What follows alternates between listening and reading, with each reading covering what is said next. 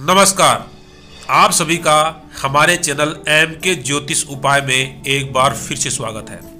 मित्रों, आज हम बात करेंगे कन्यादान के बारे में कि जन्म कुंडली में किन ग्रहों की स्थिति कैसी हो तो पिता को अपने हाथ से कन्यादान नहीं करना चाहिए।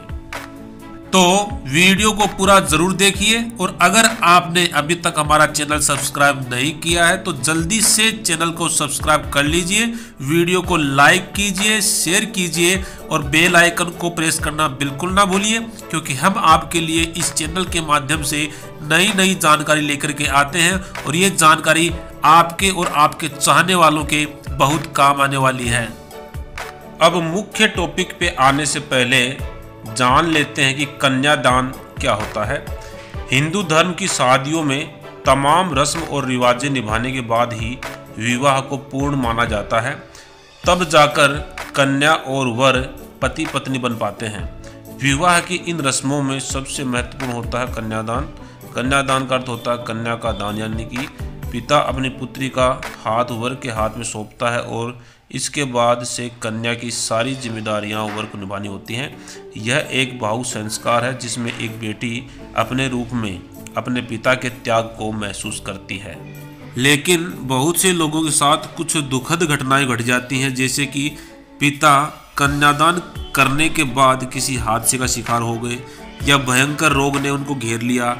कोई आर्थिक संकट आ गया जिसमें घर, ज़मीन सब नीलाम हो गया। कभी कभी तो ऐसा भी सुनने में आता है कि कन्या की विदाई के बाद पिता को हार्ट अटैक आया और पिता की मृत्यु हो गई। शायद आपने भी कहीं देखा या सुना होगा ऐसी ही किसी घटना के बारे में। अब प्रश्न दिमाग में ये उठता है कि ऐसा आखिर क्यों होता है? क्योंकि इसके पीछे एक ज्योतिषीय कारण है और आज वही कारण मैं आपको बताने वाला हूँ। तो चलिए जानते हैं उस ज्योतिषीय कारण के बारे में।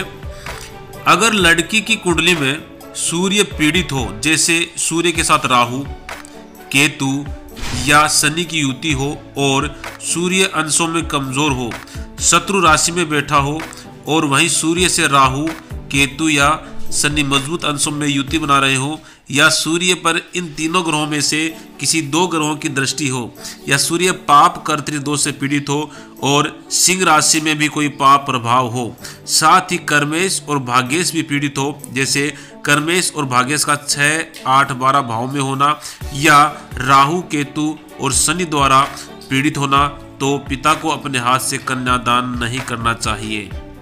कन्या की जन्म कुंडली में लग्न कोई भी हो सकता है, मेष से लेकर के मीन पर्यंत। ये मेष लग्न की कुंडली मैंने यहाँ सिर्फ़ उदाहरण के लिए ली है। और अगर कन्या की कुंडली में ग्रह स्थिति खराब है और गलती से पिता कन्यादान अपने हाथ से कर देता है तो पिता बीमार हो सकता है, पिता पर आर्थिक संकट आ सकता है, और अगर पिता का लग्नेश पीड़ित हुआ या कमज़ोर हुआ या छः आठ बारह भाव में हुआ तो पिता की मृत्यु भी संभव है। अतः आप मेरी बात को मज़ाक में मत लेना, क्योंकि मैं मज़ाक नहीं कर रहा हूँ, मैं सीरियसली आपको बता रहा हूँ। यहाँ मैं आपको एक बात और बता दूँ कि जन्म कुंडली में ग्रह स्थितियाँ जितनी खराब होंगी, आने वाली समस्या भी उतनी ही बड़ी होगी। अब अंत में ध्यान देने वाली बात यह है कि अगर ऐसी ग्रह स्थिति किसी की कुंडली में बन रही है तो आप कन्यादान लड़की के चाचा से, मौसा से या लड़की के मामा से करवा सकते हैं। ऐसा करने से किसी अनहोनी को टाला जा सकता है, किसी की जान बचाई जा सकती है। तो मित्रों, इस वीडियो को ज़्यादा से ज़्यादा शेयर करो। क्या पता आपका एक शेयर किसी की जान बचाने में कामयाब हो जाए और किसी की जान बचाने से बड़ा और कोई पुण्य नहीं है। तो पुण्य कमाने का ये मौका हाथ से ना जाने दें। तो मित्रों, आज इस वीडियो में इतना ही, और मैं आशा करता हूँ कि आज की ये जानकारी आपको पसंद आई होगी। अगर पसंद आई है तो वीडियो को लाइक करें और हमारे चैनल को सब्सक्राइब करें। बेल आइकन को ज़रूर प्रेस करें, जिससे कि हमारा आने वाला नेक्स्ट वीडियो सबसे पहले आप देख सकें। तो मित्रों, अब मैं विदा लेता हूँ। आपका दिन मंगलमय हो। अगले वीडियो में एक नई जानकारी के साथ फिर मुलाकात होगी। तब तक के लिए नमस्कार।